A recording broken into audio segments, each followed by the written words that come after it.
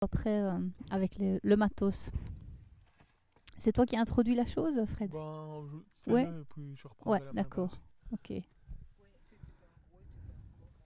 Donc je vais essayer de... Pardon. Oui, ça va? C'est parti? Ça enregistre là? Ouais. Voilà. Ah oui, c'est une mise en avis. Je crois qu'il vaut mieux le- que le cacher. Ah non. Voilà, ben, bienvenue euh, dans notre petite rencontre avec le chanteur Marca euh, au sein de notre euh, aventure Route to Value, donc une aventure où des entrepreneurs rencontrent d'autres entrepreneurs dont, dont vous faites partie. Et puis, euh, nous avons évidemment ben, quelques échanges à proposer autour de thèmes clés, notamment ben, des choses euh, dans lesquelles vous êtes un entrepreneur euh, autant que d'être un chanteur. Donc, en étant entrepreneur confronté à des problématiques plus, je dirais, de management. Et, comment est-ce que vous avez pu vous faire face à ce genre de choses? Alors avant toute chose, peut-être pour ceux qui ne vous connaissent pas encore, parce qu'il y en a encore certains, peut-être de nous expliquer un petit peu ce que vous faites avant toute chose. Euh, alors moi je, suis, je m'appelle Marca, je suis belge, je chante depuis 1990. Avant ça je jouais de la basse dans un autre groupe. Euh, j'ai fait plusieurs albums et je suis avant tout un artiste qui fait de la scène. Je chante en français essentiellement. Euh, je suis devenu mon propre manager depuis 3 ou 4 ans. Mhm. Euh, parce que en fait, euh, je me suis rendu compte que euh, ben, à la, à la- au moment où, où le, mon manager précédent, euh, qui était surtout un tourneur, c'est-à-dire un gars qui me trouvait des concerts, au moment où il est parti au Canada, j'ai eu envie de continuer seul en gros, parce que hum, je crois maintenant que je connais quand même pas mal de monde dans, dans- dans le milieu en Belgique. Et puis aussi parce que, parce que la musique a évolué des managers, il n'y en a pas des masses, et que quand il y en a, ils ont souvent beaucoup d'artistes. Et que je crois que ça me convenait plus de, de- de- de prendre les rênes de ma propre carrière et, et donc de la manager moi-même. Mais là, il y a une prise de décision importante à faire et euh, un changement de rôle peut-être aussi euh, dans les activités quotidiennes. euh. Tout à fait, parce que c'est vrai que tout le temps qu'on passe à contacter euh, les, les centres culturels ou alors les gens qui, euh, qui vont vous engager c'est tout du temps où vous ne pouvez pas composer, c'est tout du temps où vous ne pouvez pas euh, imaginer des projets, mais je veux dire, une année c'est long, donc l'un dans l'autre, ça me convient bien.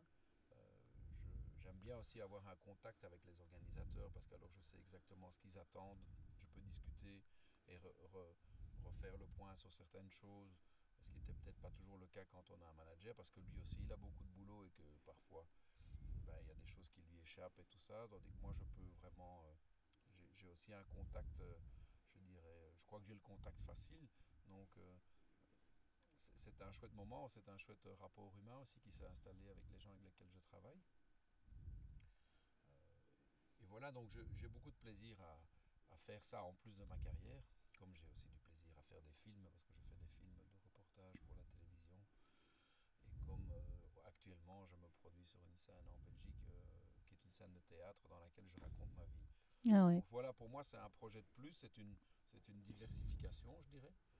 Et, euh, et aussi, c'était aussi une nécessité économique, parce que qui dit un manager dit que bah, si vous demandez un certain prix pour, pour votre concert, il y a un pourcentage qui va. Bien sûr. si ça me revient, donc je peux éventuellement aussi euh, diminuer mon, mon prix si c'était nécessaire. Mhm. Parce que je sais que justement, il n'y a pas encore cette, euh, ce pourcentage qui va s'ajouter et ça me permet parfois d'avoir un concert ou deux en plus. Qui, qui- ces deux-là, ces deux concerts-là vont peut-être m'amener d'autres concerts aussi. Donc, Tout à fait. l'un dans l'autre, euh. Et comme euh, justement euh, par rapport à ce rôle ou ces rôles qu'il a fallu euh, réinventer, nous avions nous en fait parlé entre nous d'une notion de migration. Alors migration non pas physique d'un territoire à un autre, mais bien migration d'un rôle à un autre, donc d'un point de vue à un autre. Et en devenant un manager aussi complet, est-ce que vous n'avez pas vous la sensation d'avoir transité euh, d'un état à un autre à l'intérieur de vous-même au niveau de ce qu'il a fallu trouver comme ressources pour faire face à tout ça J'ai toujours été quelqu'un qui, qui a pris les choses en main et qui, euh, qui, euh, ainsi- aimé savoir ce qui se passait alors qu'on travaillait pour moi. Ça ne convient pas toujours aux managers avec lesquels vous travaillez parce que parfois ils ont juste envie qu'on leur foute la paix. Mhm. Et j'ai eu naturellement des mauvaises surprises. J'ai eu des gens avec lesquels j'ai dû la tête parce qu'il y avait des sous, je ne savais pas très bien où ils passaient. Euh, j'ai eu aussi des gens avec lesquels je trouvais qu'il n'y avait pas assez de retour euh, et tout ça. Donc euh, voilà. Mais ça fait partie de moi. Je suis comme ça. J'ai des copains qui font le même métier que moi et qui ne pourraient pas faire ce que je fais. Tout à fait. Je suppose qu'au fond de moi, il y a ce côté en- entrepreneur, comme vous dites, euh, qui aurait bien fait de se raser aujourd'hui d'ailleurs pour pas. pour- Non, mais ça fait partie Non, du, ça fait partie du, look.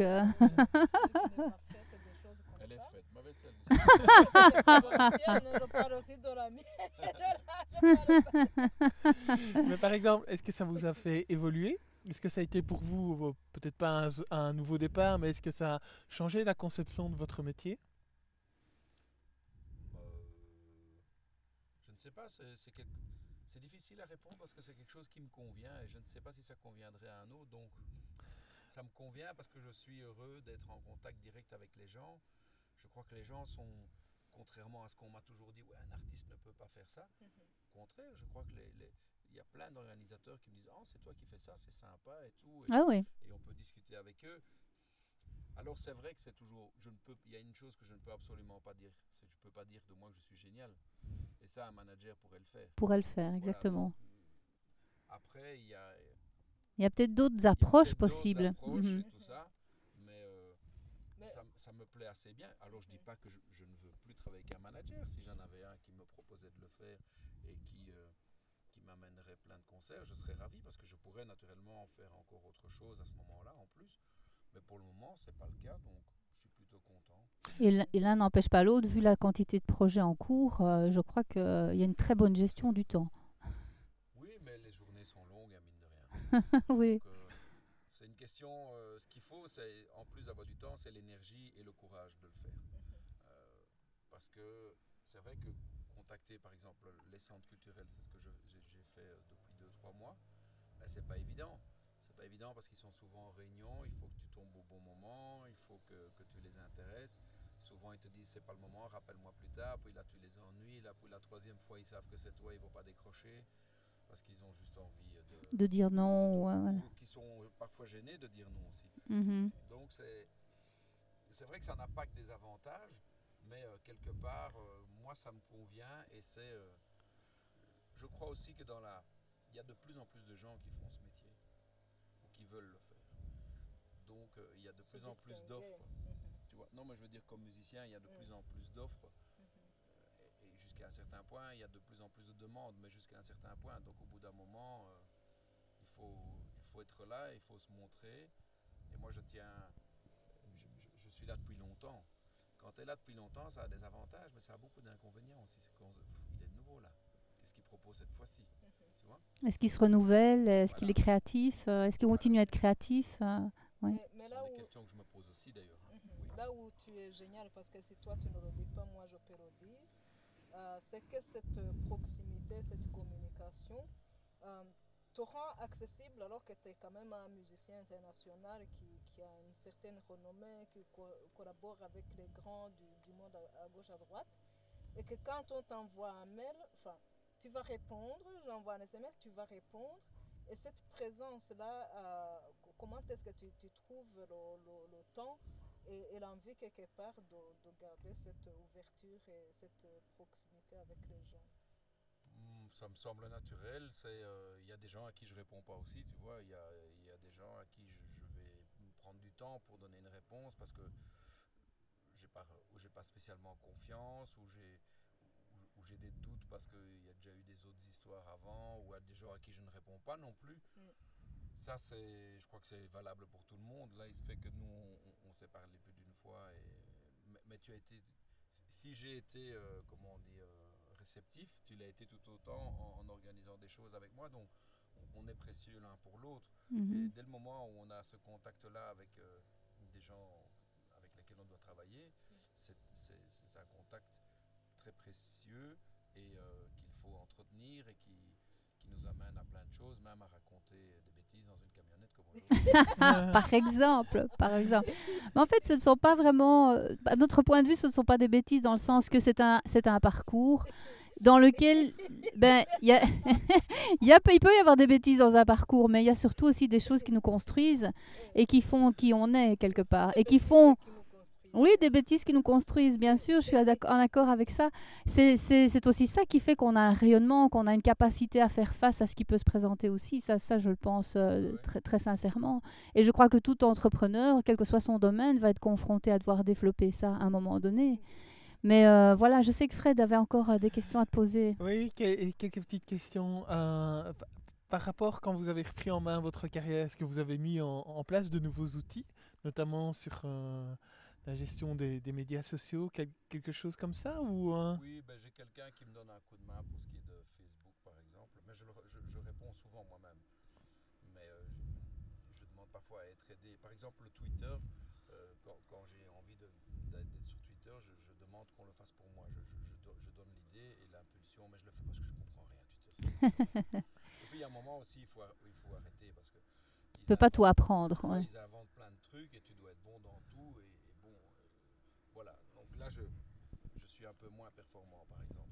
Euh, mais euh, la question, c'était quoi encore, dis-moi Oui, est-ce que tu as mis en place de nouveaux outils quand tu as pris toi-même en main ta, ta- Ouais, Je me rappelle en fait ce que j'ai mis en place, c'est que je, et je, je dois encore le répéter aujourd'hui, c'est que euh, parfois les gens sont étonnés que j'appelle, puis je leur dis mais voilà, en fait, je m'occupe de moi. Je m'occupe de moi parce que j'ai compris que, que finalement c'était probablement la meilleure manière et que donc euh, aussi parce que j'ai le temps. Je, je- tu vois, tu- c'est- c'est- Stromae il pourrait pas faire Tu ça. Mhm. tu vois. Oui, mais c'est parce que j'ai le temps aussi. Il y a un moment où tu peux plus faire ça. Mhm. Mais moi, je, je suis dans une mouvance où. euh, voilà. Et, et puis, j'aime bien les nouveaux projets, j'aime bien. j'ai- tellement. C'est tellement du plaisir. J'ai toujours un projet d'avance. Mhm. Toujours. Alors, j'ai envie de parler de deux choses chez toi. Il y a vraiment le, le- le projet qui m'a, euh, comment dire, euh, euh, que je trouve euh, grandiose. Quand tu as fait le tour du pays pour récolter les instruments Oui. et embarquer un camion pour partir, euh, voilà, rejoindre d'autres musiciens de l'autre bout du monde et créer quelque chose avec eux. Ben, j'ai eu la chance de voyager et de, de faire des concerts à Cuba. Et on m'a mis un groupe à disposition à Cuba. Donc c'est échange, un échange de bons procédés. Je marche aussi beaucoup sur l'échange. Je trouve que c'est intéressant de, Sur tes intuitions? Oui, euh, euh, on- on- souvent il y a des ASBL qui viennent vers moi ou, ou des, des- des associations. Ah, est-ce que tu peux faire ça? Est-ce que... Bon, je dis pas oui à tout, mais je réfléchis un peu. Et si la cause me parle, ben, j'y vais. Euh, parfois les gens n'ont pas de sous du tout et parfois ils te remboursent tes frais de déplacement, ce qui est pas toujours négligeable parce que tu sais, à la fin du compte. euh, tu pourrais faire tous les soirs une association et passer ton temps. Pendant ce temps-là, tu travailles pas et tu dépenses de l'argent. Donc, euh, mais il y a plein de trucs aussi où je sais que ce sont des, des, placements, je dirais. Parce que les gens ben, te font confiance, les gens retiennent que tu leur as rendu service, et puis après, ils vont peut-être te rendre service. Et je trouve ça, c'est très utile. Et le métier que je fais le permet. Tu vois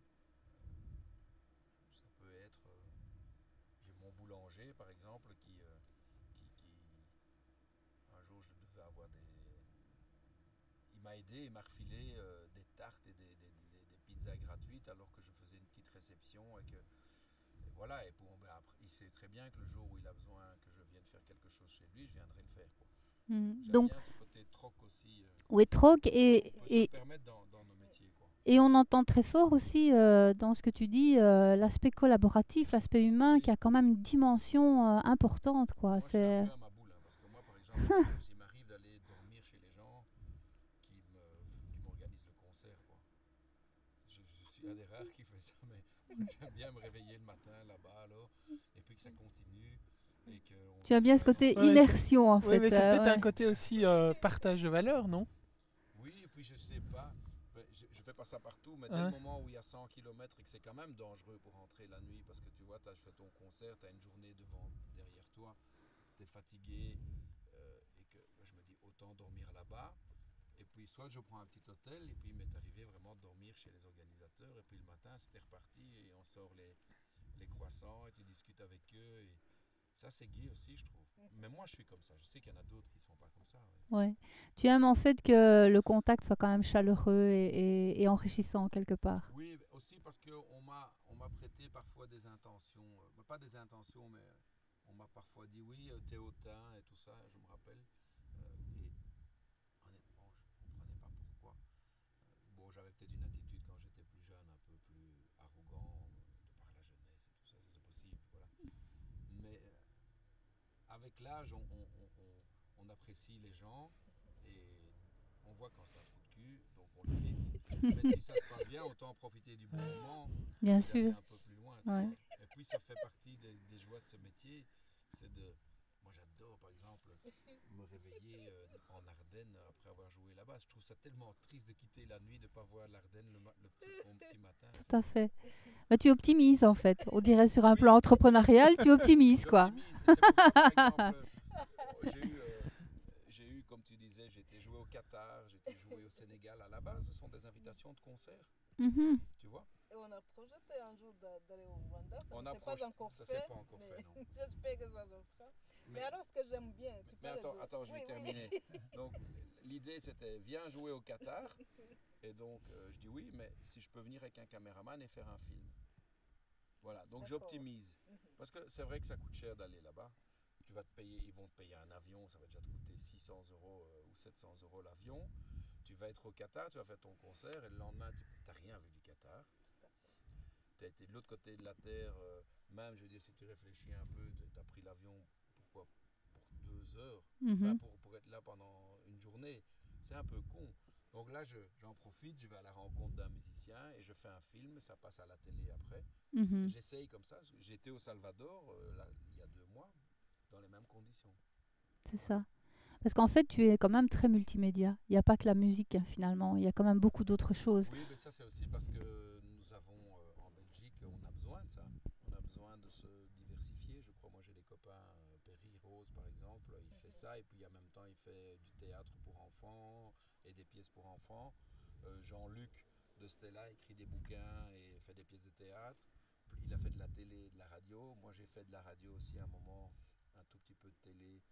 Euh, et puis maintenant je fais des reportages et ça j'aime vraiment bien. Oui, nous avons, pour durer, Tu- tu dois faire ça. Tu peux mhm. pas faire toujours la même chose. Oui. Ma femme aussi, elle fait plein de choses. Elle fait de la radio, de la télé, du théâtre, du cinéma. Ouais. Mais du coup, qu'est-ce que tu penses de cette expression qui dit, euh, tu vois, les jeunes qui veulent aujourd'hui se lancer dans l'entreprise, quelle que soit cette entreprise, artistique ou autre, il y a quand même un, un frein sérieux euh, et beaucoup de peurs qui sont là. Alors, on en discutait récemment ensemble et Fred nous amenait l'idée, est-ce que pour être un entrepreneur, faut-il avoir un côté un peu super humain Tu crois pas? Qu'est-ce qu'il faut pour être un entrepreneur, à ton avis Mais C'est difficile à dire parce que je viens d'une famille où il n'était pas du tout entrepreneur. Euh, mon père travaillait à la voirie, ma mère était étalagiste, mon grand-père, ma grand-mère ne travaillait pas, était euh, à la maison, euh, mais elle a été coiffeuse, je crois. Euh, et mon, et mon, mon grand-père, lui, maternel, faisait du, du transport. Donc finalement, des trajets assez voilà, classiques, ouais. Voilà. Et euh, moi, j'ai décidé de faire de la musique, d'abord pour m'amuser, voilà, au début, et pour draguer les filles. Voilà, c'est assez simple. Et puis après, tu te prends au jeu, ça marche un peu, tu vois que tu peux gagner des sous, donc tu peux t'en faire un métier. Et voilà. Et dans les, gars avec lesquels j'ai j'ai fait la musique, sur les cinq gars qui étaient dans le groupe au début, il y en a deux qui ont fait de la pub, donc ils sont devenus des entrepreneurs en pub. Ils ont gagné énormément d'argent. Il y en a un qui n'a plus rien, et il y en a deux autres qui n'ont plus rien fait. Et puis il y a moi qui a continué vraiment en musique. Voilà. Alors euh, je suis devenu un peu un entrepreneur par le fait que j'avais envie de, de faire des, j'avais envie de réaliser des choses que j'avais envie de faire. Mhm. C'est un peu comme, voilà, un peu Ouais. comme réaliser des rêves. Un petit peu le feu sacré. euh, Je regarde énormément de reportages à la télé, donc à un moment je me suis dit, mais pourquoi t'en ferais pas Donc après, ça c'est la première question. La deuxième c'est, oui, mais qu'est-ce que tu vas amener? Qu'est-ce que tu peux faire? Ah ben, tu peux faire quelque chose autour de la musique. Ok, mais dans quel jeu? Clac, clac, clac. Et puis après, voilà, j'ai j'ai inventé, j'ai fait un concept. euh, voilà. Parce qu'on- on- oui, mais On, croit souvent euh, que la créativité, c'est un, c'est un mouvement spontané. Enfin, on a un peu cette image d'épinal. Tu vois que la créativité, c'est un truc qui arrive comme ça en un coup. Mais en réalité, on se rend compte, au plus on rencontre des gens qui utilisent leur créativité, qu'elle soit maintenant d'un point de vue entreprise ou d'un point de vue euh, vraiment artistique, que c'est un processus constructif qui, qui, qui, en fait, va aboutir après euh, une, une démarche. Parfois, c'est longue. Ah oui, je, et, et ça dépend. Il y a des, il y a des métiers. euh, ça, je- j'en parle parce qu'on me l'a expliqué. Je ne l'ai pas vécu, mais les mecs qui font des films, mais c'est- ça prend 5 ans pour faire un film. Un album, ça prend 2 ans, on va dire. Ouais. Entre le moment où tu, tu décides de t'y mettre, tu composes. Euh, si tu fais pas les paroles, bah, tu fais aff- appel à un parolier. Tu trouves les bonnes chansons. Quand tu as les 12 ou 15 bonnes chansons, euh, éventuellement tu vas les travailler sur scène, ça va, tu vas encore perdre un peu de temps, puis tu vas les retravailler, puis tu vas aller en studio, les enregistrer, puis voilà, ça met quand même du temps. Quoi. Euh, c'est vrai que je suis tous les jours dans la réflexion pour trouver un autre, euh, pour, pour faire avancer le truc. Donc là, le, le spectacle que je, que je fais aujourd'hui au théâtre Le Public, je raconte ma vie sur scène, Marca se reprend. voilà, Mhm. et j'ai écrit un bouquin. Ce Avec bouquin- un CD. voilà. Le bouquin, lui, il est né un peu par hasard parce que j'avais jamais rien écrit de ma vie, moi. Mais maintenant, je pense déjà à réécrire un deuxième. C'est parti, le multimédia à fond. Voilà. et, et, euh, Donc c'est une expérience qui t'a vraiment enrichi en fait et qui t'a ouvert des perspectives, si je comprends bien au bon moment parce que je suis vraiment euh, sur un petit nuage. Euh, le, le spectacle marche, il y a, il y a plein de monde euh, et je me découvre une, euh, une, euh, un plaisir à, à faire du stand-up et à raconter ma vie sur scène. Et puis j'entrecoupe ça de mais l'essentiel du temps, je raconte ma vie aux gens et les gens sont là et, ils m'écoutent et ils prennent du plaisir comme moi je prends du plaisir. Oui, Et en tu- fait, tu- j'avais essayé ça chez toi Tu hein, as essayé à Aiguezé. avec Dezé. Euh, tu as avais- inaugurer la salle à Courtis. Voilà. Et les gens, euh, il y a de tout âge, et c'est ça aussi qui est, qui est super intéressant. En fait, tu as des fans accrochés, euh, tout comme tu, tu passes parfois inconnu. On parlait des des gens qui, qui ne sont pas connus vraiment dans leur, euh, euh, tout près de, de- de chez eux, quoi, que les gens Ouais. recherchaient plus loin la valeur qu'on a déjà plus près. Ouais. Mais toi, ce qui m'épate chez toi, tu as des fans accrochés, mais qui te regardent, euh, enfin, qui te suivent de semaine en semaine sur le même sujet et qui rigolent autant. Quoi. Oui. Parce qu'en fait, C'est- drôle ton spectacle, si je comprends bien. Ouais, ouais. Ouais. C'est génial. Mais mais c'est vrai que les gens rigolent bien et, euh, et, et c'est euh, absolument magique parce que je n'ai jamais fait ça de ma vie. Et, et j'ai vu ma femme qui a fait ça pendant des années et, et je me disais waouh. elle- Et puis là, je le fais et c'est. Bon, il n'y a pas de bois ici, je toucherai bien du bois. Mhm. Il faut que ça Mhm. continue. Mhm. Mais je m'amuse bien. J'ai l'impression d'avoir découvert quelque chose. Et tu as l'impression d'a- d'avoir pris des risques?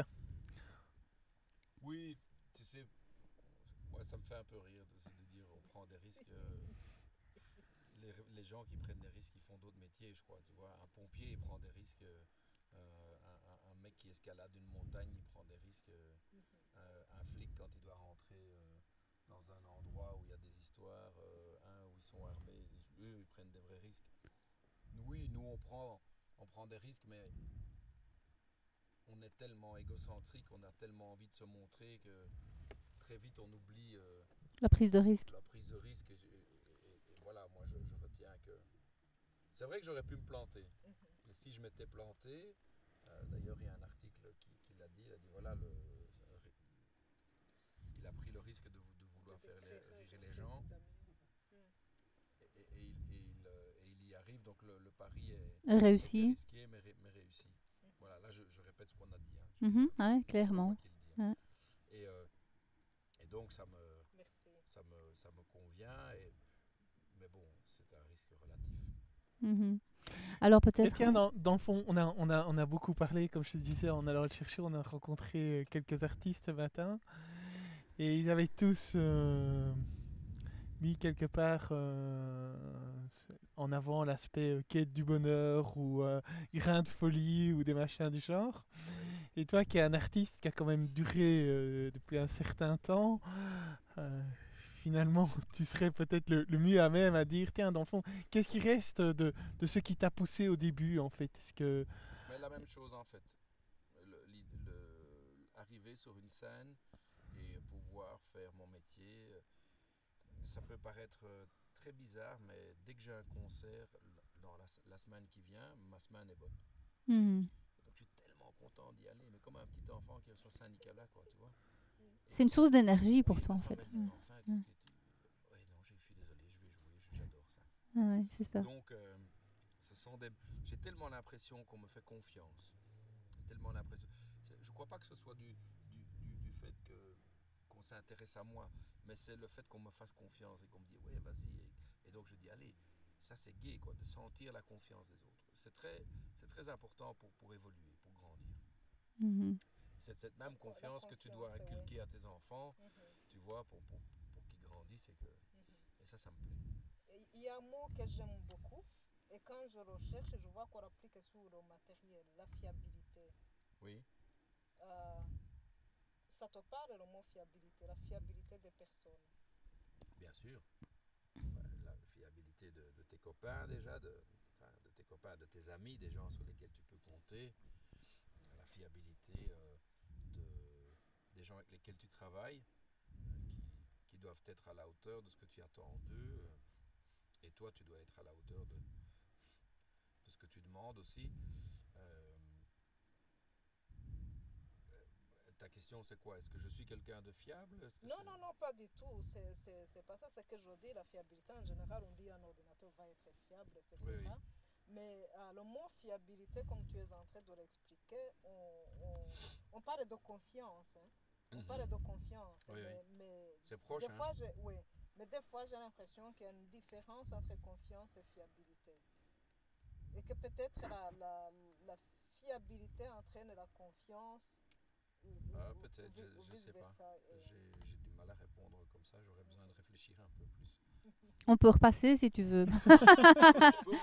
Vas-y, vas-y, vas-y. Donc, on va mourir ici. De toute façon, peut-être, euh, Marca, tu peux nous parler peut-être un petit peu de, ce que tu fais pour l'instant, parce qu'il y a plein d'activités dans ton actualité. Euh, voilà, euh, comme ça, ceux qui ne te connaîtraient pas encore pourraient encore aller découvrir tout ça sur le net, peut-être aussi, et peut-être s'inviter dans ton spectacle à un moment donné. Eh bien, alors, donc, euh, j'ai j'ai écrit un livre qui s'appelle Marca se reprend, que vous pouvez normalement acheter dans toutes les, les librairies qui sont dignes de ce nom. Si vous ne le trouvez pas en librairie ou dans les grands distributeurs, hein, comme euh, les Fnac et tout ça, euh, vous pouvez l'acheter via mon site, marca.be. C'est un livre dans lequel il y a aussi un CD best-of. Et c'est un livre qui reprend euh, euh, des anecdotes, une anecdote par an de ma vie. Euh, c'est- de ce livre qu'est issu le spectacle Marca se reprend en spectacle. Ça, vous pouvez le voir au théâtre Le Public jusqu'au 31 décembre. Mhm. Mais vous pouvez le voir aussi en tournée.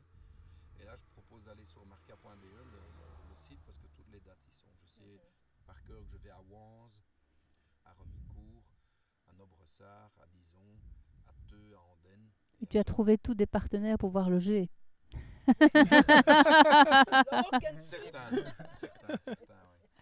Tu vas bien profiter de notre belle Belgique, alors, euh, si je comprends bien. Ok, mais de toute façon, on mettra aussi, nous, les liens euh, pour euh, ceux qui nous suivent éventuellement. Voilà.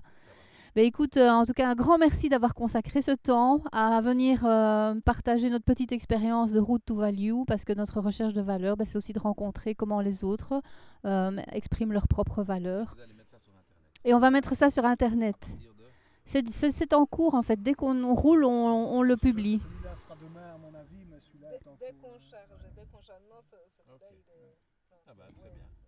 Parce qu'on est aussi dépendant des aléas un petit peu euh, de cette expérience technologique. Donc, des moments où, où la Belgique, euh, ça fonctionne très bien, et d'autres moments où on doit un petit peu s'ajuster. Voilà. En fait, vous devriez être suivi vous-même par une équipe télé encore. Peut-être. Ce serait, ouais, Ça aurait pu, oui. hein. Euh. Qui fait le reportage de ce qu'on fait. Mais Comme tu dis, il faut. Nous, on a fait vraiment sur euh, le, le plaisir de- d'abord de constituer une équipe et de, de nous retrouver et de- d'avancer vers euh, d'autres. Et en même temps, si on faisait quelque chose comme ça, il faut un, un entrepreneur aussi qui s'engage et qui, qui, qui nous suit. Mais tu parles de troc, etc. Il faut trouver les valeurs Oui, sur lesquelles euh, oui. ça, ça peut se faire et, et qu'il puisse gagner aussi sa vie. Quoi. Oui, oui, tout à Donc, on fait. y a réellement pensé, oui. Non, mais peut-être une télé ou un- tu vois, une, une télé locale. euh, Je sais par exemple que les, les télés locales sont, euh, si, si elles se lancent dans un projet, elles, elles- elles sont parfois, euh, là j'ai parlé avec Télévestre, ils sont, ils sont en, en conglomérat, on va dire, avec six autres télés. Et donc du coup, si, si eux te suivent, ça va passer sur Ça rayonne. donc Ouais. ça rayonne. Du, net, du network à fond, en fait. Ouais. Oui, tout à fait. Voilà. Merci à toi, en tout Merci cas. Bonne fin de Au revoir. journée. Au revoir, Marca. Salut. Hein. Merci beaucoup. Merci à toi, sans problème. Au retour. Salut. Bonne route, soyez prudents et que tout se passe bien là-bas. Et bonne chance pour euh, la suite. Et On te souhaite Paris, le meilleur. Non, non. Ciao. Merci bien, oui.